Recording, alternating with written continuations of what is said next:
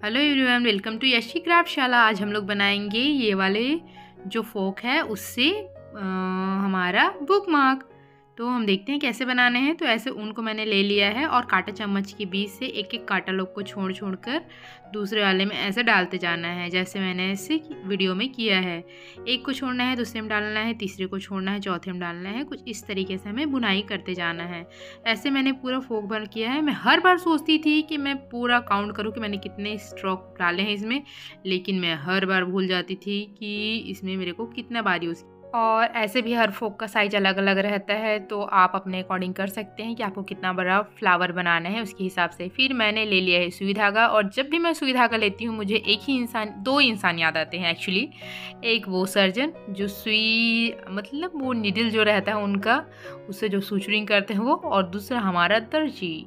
तो हमको वही वाला फीलिंग आता है। तो इस तरीके से मैंने सभी को सिल लिया है, और बल लगा, जब मैं धागे को निकालती हूँ तो मेरे को वही लगता है, बल लगा के हई, सा वाला फीलिंग जो है वो आती है।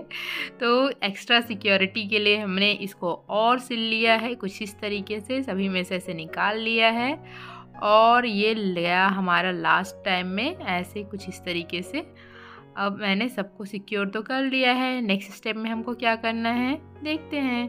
तो नेक्स्ट स्टेप में मैंने ये दो साइड को पहले जोड़ा है, कुछ इस तरीके से। ऐसे हमें अच्छे से इसको सिल देना है, दोनों साइड को, दोनों का गठबंधन कर देना है हमें, ताकि ये सरकार गिरे मत इस कारण से।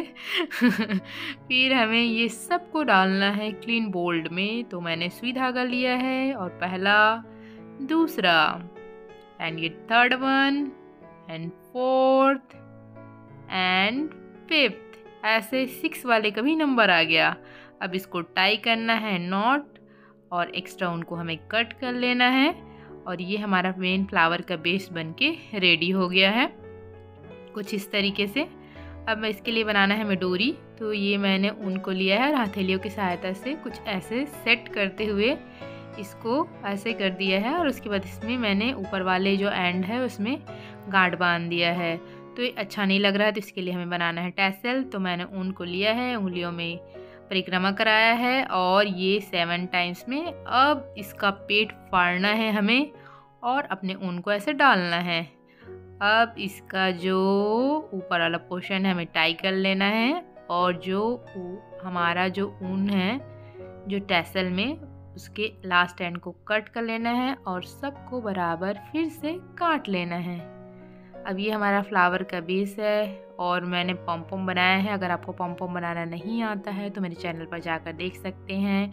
और ये मैंने ग्रीन का बेस लगाया है। अगर आप, जो कि ऑप्शनल है, अब कुछ नहीं, सिर्फ़ चुटकी बनाना है और हमारा ये बन के रेडी है। मीन्स सबको सिलना है।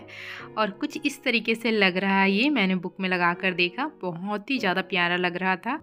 अगर आपको मेरे वाला वीडियो पसंद आता है तो वीडियो को लाइक कीजिए, चैनल को सब्सक्राइब कीजिए और वीडियो को ज़्यादा से ज़्यादा शेयर कीजिए। Thank you for watching this video. Thank you.